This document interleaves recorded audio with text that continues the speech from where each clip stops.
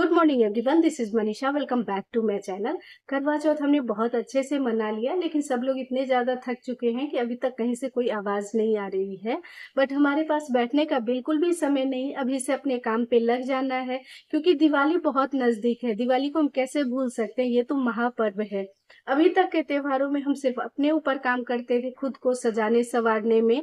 लेकिन दिवाली ऐसा त्योहार है जिसमें अपने साथ साथ अपने घरों की साफ़ सफ़ाई उसको सजाना, संवारना, बहुत सारी शॉपिंग करना तरह तरह के पकवान बनाना, घर में पूजा, पाठ, इतने सारे काम हो जाते हैं कि दिवाली में जितना करो, कम ही पड़ जाता है। आई नो कि आप लोगों के घर में भी अभी साफ़ सफ़ाई का काम चल रहा होगा और दिवाली की सबसे बड़ी खासियत है कि ये हमारे पूरे हिंदुस्तान में सभी जाति धर्म के लोग मनाते हैं अपनी अपनी श्रद्धा के हिसाब से, अपनी हैसियत के हिसाब से जित जिसको जितना है उस हिसाब से मनाते ये प्रकाश का पर्व है, ज्योति का पर्व है। तो मेरी यही आशा है, माँ लक्ष्मी, सदैव हम सभी पे अपनी कृपा दृष्टि बना के रखे। इसी आशा के साथ मैं दिवाली सीरीज़ शुरू कर रही हूँ। आप लोग भी थोड़ा थोड़ा सा टाइम निकाल के अपने लिए जैसे घर का काम कर लेते हैं तो 10-20 मिनट का टाइम निकाल के उस बीच में खुद के लिए भी ये सब चीज़ें कर लिया कीजिए, क्योंकि बाद में समय नहीं मिलेगा। तो दिवाली सीरीज़ में सबसे पहले वीडियो मैं लाई हूँ फेस मास्क की और ये बहुत ही अच्छा सा फेस मास्क है। फेस्टिवल्स के हिसाब से ये आपके स्किन को इंस्टेंट तो ग्लो देगा ही ब्राइटन करेगा लाइटन करेगा, लेकिन हमारे स्किन की कुछ परेशानियाँ, जो प्रॉब्लम्स जो है, उसके ऊपर भी काम करेगा। जैसे हमारे बहुत ज़्यादा लार्ज ओपन पोर्स हो जाते हैं, जो देखने में बिल्कुल भी अच्छा नहीं होता है तो लगता है तो उसको टाइटन अप करने का काम करता है। इसे आप कोलेजन बोस्टिंग मास्क भी कह सकते हैं। जैसे जैसे हम एज करते हैं, हमारी स्किन सेव करने लगती है स्किन से इलास्टिसिटी हो जाती है यूथफुल वाला ग्लो जो होता है, वो कहीं नहीं रह जाता है। तो उस हिसाब से ये मास्क बहुत अच्छा है। उसके बाद अगर आपके एक्ने ब्रेकआउट्स हो रहे हैं तो उसके ऊपर भी ये मास्क काम करने वाला है। और बहुत ज़्यादा तामझाम की ज़रूरत नहीं है, बहुत सारे इंग्रेडिएंट्स हमें नहीं चाहिए। इसका स्टार इंग्रेडिएंट सिर्फ़ और सिर्फ़ एक है, अलसी के बीज। इसे तो आप लोग जानते ही होंगे, बहुत ज़्यादा यूज़फुल होता है। ये हमारे शरीर के लिए, हेल्थ के लिए जितना अच्छा उतना ही हमारे स्किन और हेयर के लिए भी अच्छा है। तो अलसी के बीज अगर आपके पास हैं तो उसका पाउडर बना लीजिए या उसको भिगो के आप उसका पेस्ट भी बना सकते हैं। आगे मैं बताऊँगी कि अलसी के बीज के क्या सब फ़ायदे होंगे। और इसमें सिर्फ़ दो तीन चीज़ें और मिक्स करनी है जो कि आपके घर में होंगे ये तो चलिए देखते हैं कैसे बनाना है मास्क फ्लैक्स यानी अलसी के बीज का पाउडर मैंने पहले से बना के रखा हुआ है। अलसी के बीज को थोड़ी देर के लिए धूप में रख दीजिए। जैसे गर्म हो जाएगा तो इसे पीस के एक एयर टाइट कंटेनर में भर के एक से दो महीने तक के लिए रख सकते हैं। इसे पीसने पे बहुत ज़्यादा बारीक या महीन सा पाउडर नहीं बनेगा, क्योंकि इसमें तेल का अंश होता है तो थोड़ा मोटा ही रहेगा। दो चम्मच मैंने ले लिया है ये पाउडर इसमें चार से पाँच चम्मच पानी डाल दिया है ताकि अच्छे से फूल जाए। अगर सुबह में लगाना है तो रात को ही भिगो लीजिए। समय ज़्यादा नहीं है तो दो तीन घंटे पहले भी भिगो सकते हैं। इसका पेस्ट बहुत ही लेसदार, चिपचिपा सा होता है, जिस तरह से भिंडी की सब्ज़ी बनती है। अब हमें फेस मास्क को तैयार करने के लिए दो तीन इंग्रेडिएंट्स इसमें मिक्स करनी है। तो सबसे पहले मैं एक चम्मच रोज वाटर डाल रही हूँ। उसके बाद आठ से दस ड्रॉप के करीब लेमन जूस निचोड़ दिया है।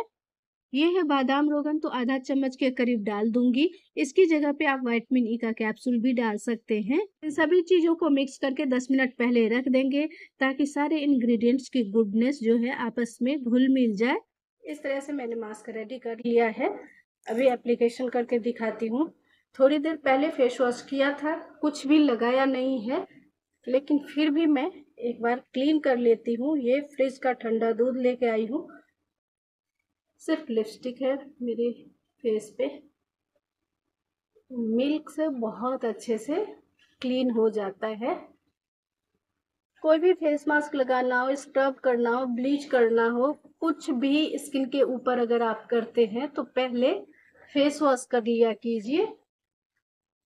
तो इस तरह से मैंने मिल्क से ही क्लीन कर लिया।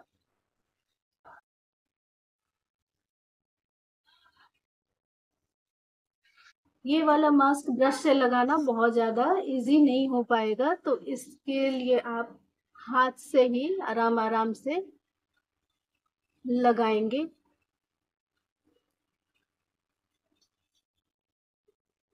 ये मास्क बहुत ज़्यादा प्लेन या स्मूथ सा नहीं है, जिसे आप ऐसे करके लगा सकते हैं।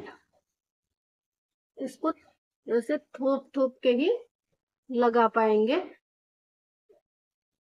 क्योंकि ये फिसलने वाला है। ऐसे करेंगे तो हाथ के साथ ही सारा निकल जाएगा।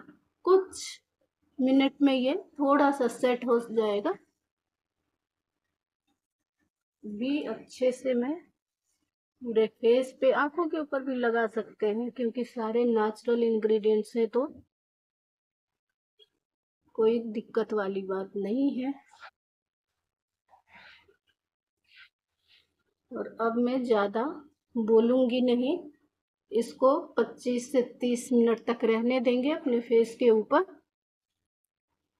और उसके बाद हल्का हल्का सा मसाज करते हुए सर्कुलर मोशन में निकाल देंगे, पानी से धो देंगे।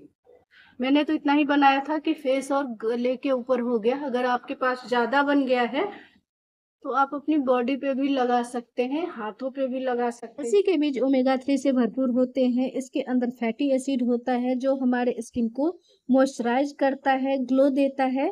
ये कोलेजन के प्रोडक्शन को बढ़ाता है हमारे त्वचा को हेल्दी रखता है।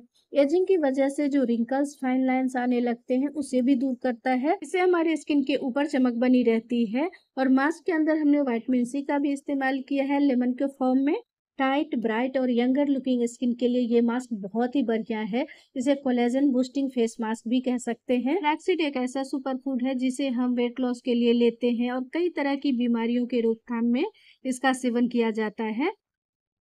कुछ फ़र्क महसूस हो रहा है मेरे चेहरे पे? मुझे तो बहुत ही अच्छी स्किन लग रही है सॉफ्ट और सफल चमक भी आ गई है। 25-30 मिनट तक मास्क को मैंने चेहरे पे लगा के रखा। उसके बाद हल्के हल्के से हाथों से मसाज करते हुए पानी से धो के आई हूँ। अभी मॉइस्चराइजर लगाऊँगी। अगर आप डे टाइम में करते हैं तो सनस्क्रीन लगाना बिल्कुल भी ना भूलें। रात को करते हैं तो जो भी नाइट क्रीम लगाते हैं या मॉइस्चराइजर लगाते हैं, वो लगा लीजिए। और मैं तो यही कहूँगी कि ज़्यादातर मास्क वगैरह रात के समय में लगा लिया कीजिए। सोने से आधे घंटे पहले आप थोड़ी देर पहले भिगोने के लिए छोड़ दीजिए और सोने से आधे घंटे पहले लगा के और फिर मॉइस्चराइजर लगा के सो जाइए। सुबह जब आप देखेंगे तो आपकी स्किन इतनी ज़्यादा ग्लो, ग्लोइंग स्किन हो जाएगी, रेडिएंट करेगी, शाइन आ जाएगी आपकी स्किन पे। आप विश्वास नहीं कर पाओगे कि ये मेरी स्किन है, मेरा चेहरा है।